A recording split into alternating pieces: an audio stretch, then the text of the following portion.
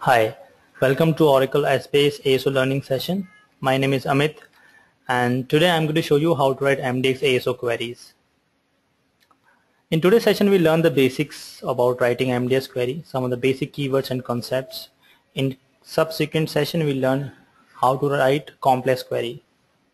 So MDX queries called multidimensional expression are similar to writing SQL query.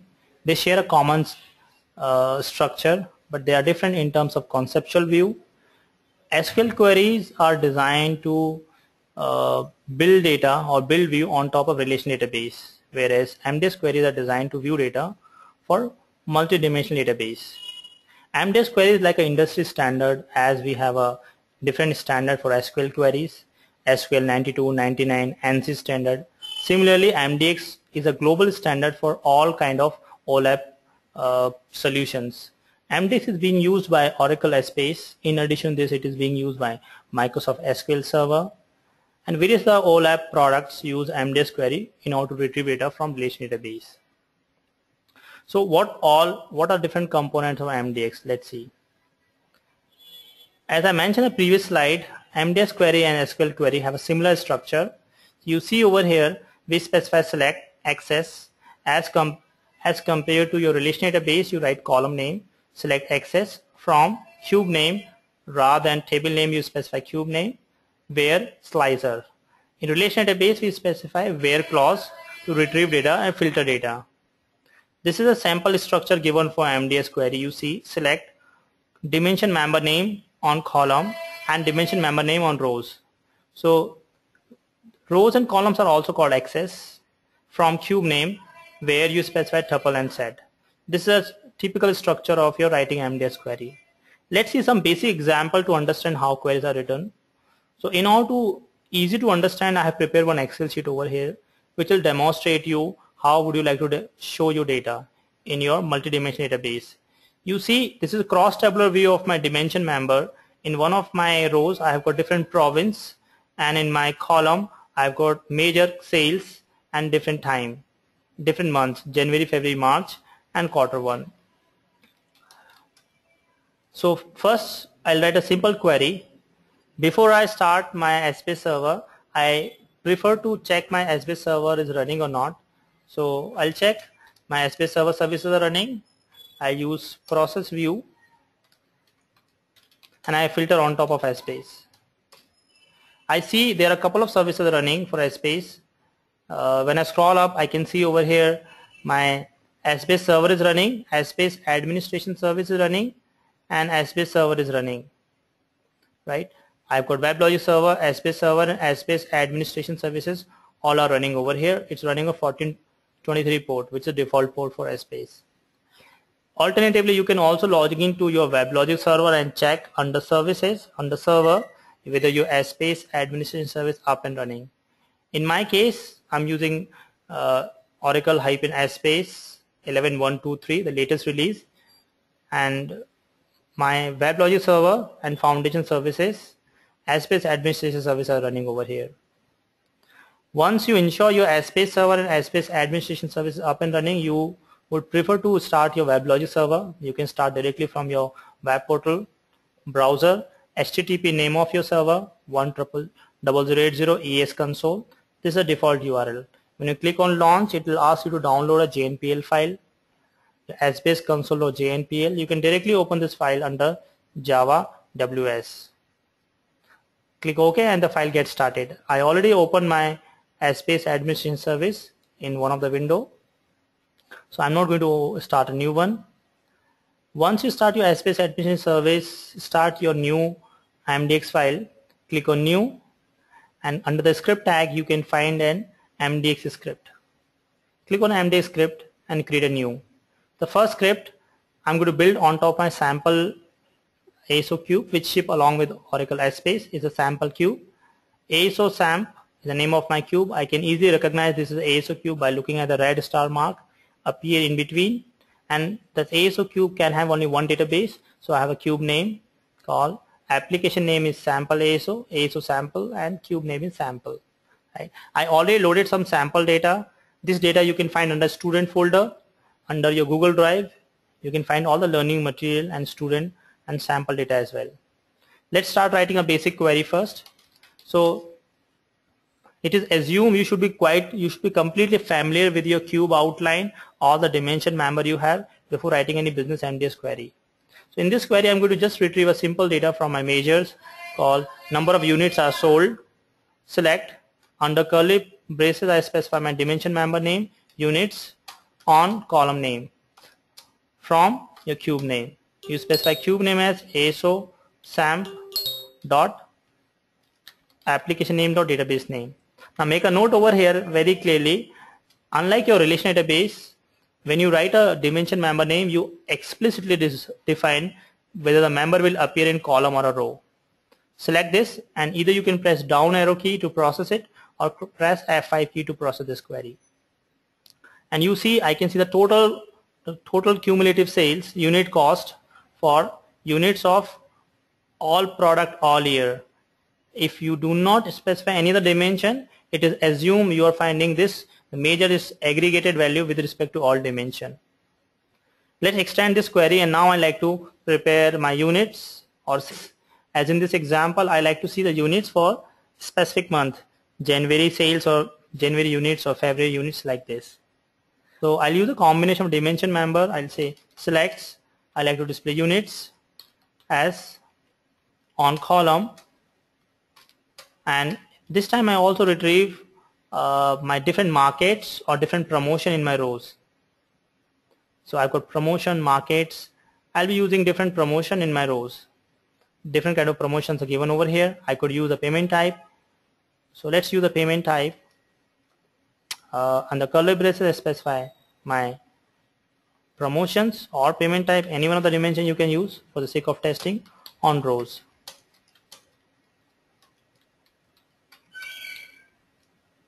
From you specify cube name. To shorten my I just copy my cube name from here and paste it over here. So now it would be combination of rows and column. I can see on rows I have promotion and column I got units. Select query and press F5 key to process. Oh my parentheses are not correctly closed. So now I have combination of rows and column. You also, you know, if you look at the output over here, it should draw your attention stating that I have a term over here called XS1. What does this XS actually? Uh, the XS define abstraction of your how your dimension member appear in a cross tabular view. So rather than using rows and column, you could use XS. MDX query can have 0 to 63 XS, total 64 XS an SQL statement and each axis behave exactly the same way. You see over here axis 0 says column, 1 says rows, 2 says page and so on. Alternatively specifying rows and column you could specify access over here. So access and the respective areas. I'm going to rewrite the same query and rather using uh, rows and column I would be using over here access. So I would replace column with axis 0 and rows with axis 1 and reprocess this query and see the difference. Well, there's no difference in look and feel. You get the same query output, axis 1. So it means rows and columns are alias uh, of your access. So we see the two basic queries. Now let's go further and see more advanced example. When you're writing MDX query, it is important for you to understand two very important concepts called tuples and set. Tuple is a multidimensional abstraction of member as per definition and set is a collection of tuple uh, composed of ordered tuple. And here one important thing order is meaningful and tuple can be repeated. This is a simple example of set and tuple. You see what is appear in parenthesis. It's my this one is my tuple and the collection of my tuple is my set. We'll look at the definition and I'm going to show you how to design it. Some important term about tuple. It comprises of one member from each reference dimension. One member from each reference dimension and cannot have null tuple or null members and it is put under parenthesis. Before you designing any uh, you know MDX query, in the beginning it's a good idea you prepare in uh, Excel which will help you to understand basically you're going to design I prepare one sample Excel over here and I'm going to design over here tuple. My tuple will consist of in this example as combination of under parenthesis January sales.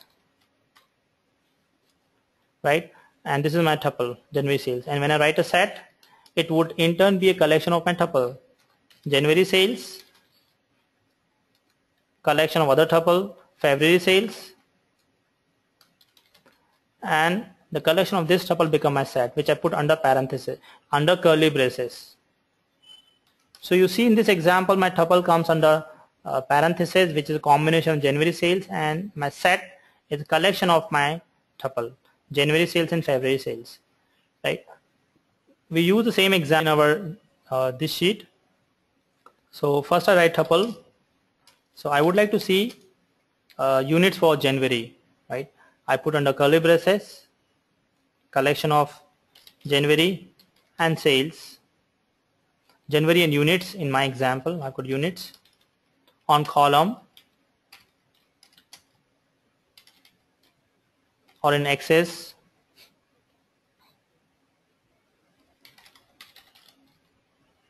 And what do you want in row in? let the row be same. In my row I continue to have promotions and from my cube.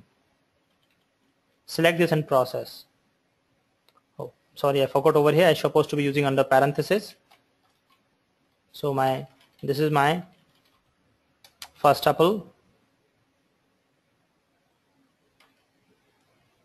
this is a tuple and you see it's a combination of January units. And units the alias name is item per package right? Item per package.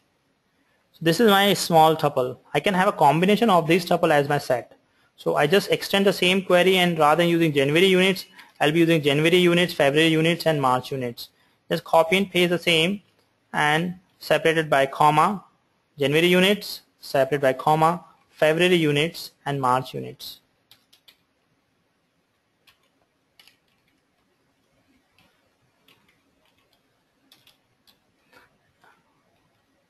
And you see it is enclosed under curly brackets under parenthesis. Select this and press F5 key to process it.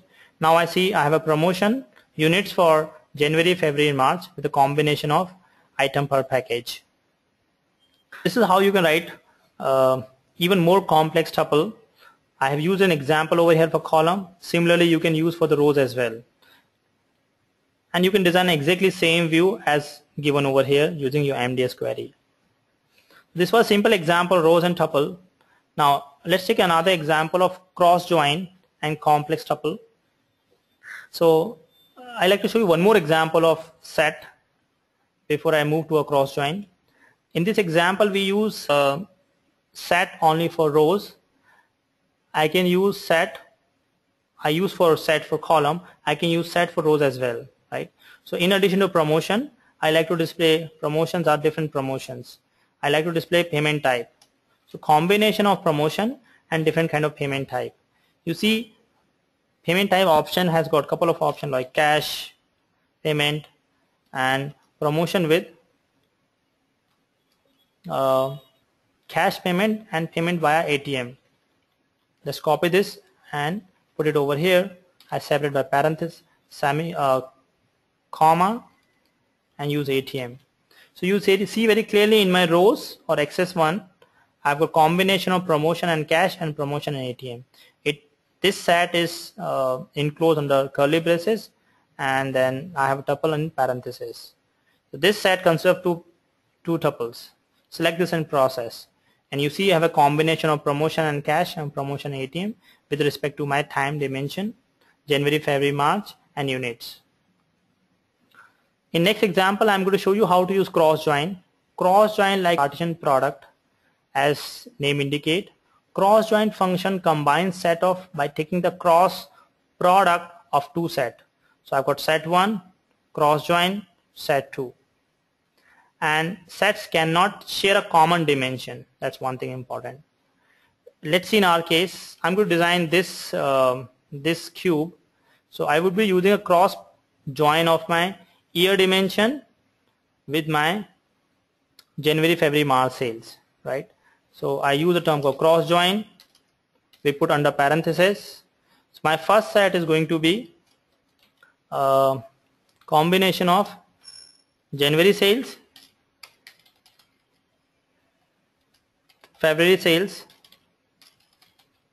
and March sales. Right? And Cartesian product with Cartesian product with, with my year 2008 and 2009 you see 2008 and 2009 right? So Cartesian product 2008-9 with the combination of January February March I want exactly the same view as given over here. So use the term Cartesian product and set and you you separate by using comma. And rows whatever I have continue to use it let's rewrite this query. So I use select. I use a term called cross join. Cross join. And cross join uses under parenthesis I use multiple set. So my first set is January units. And to shorten is I use January units and February units. Right? So two tuple January units and February units and one it forms a one set. This is to be cross joined with this is to be cross joined with I will be using over here new measures uh, new dimension member called store manager right?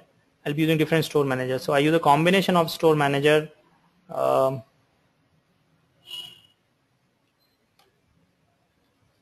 I was store manager Abhijit and I want this to appear in my axis 0 or columns. And I copy the remaining part of my query from my first query. So in my rows I'll continue to have promotion with the intersection of cash and promotion with the intersection of ATM you have to make sure that you are not using same dimension in rows and column. That causes a trouble. That's it. Select this and run it. Units. Okay I have uh, misspelled it. It should be units select in process. Just ensure that you have a your parentheses are commonly properly balanced. So I'll check here.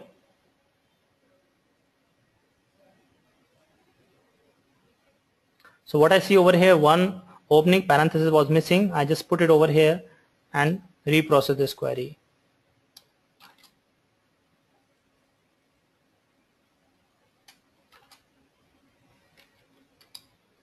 select this query and reprocess.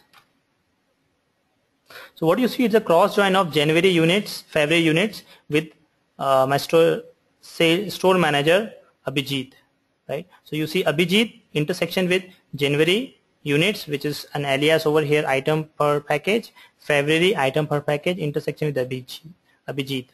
Similarly you can the same structure as given over here. It would be cross join of 2008 2009 with January sales February sales respectively.